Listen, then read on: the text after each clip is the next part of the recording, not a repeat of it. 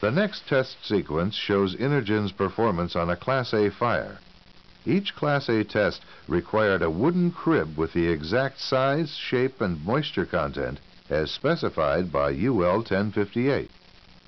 The wood crib was exposed to the burning fuel for approximately three minutes and then allowed to burn for an additional three minutes, resulting in a total pre-burn time of six minutes.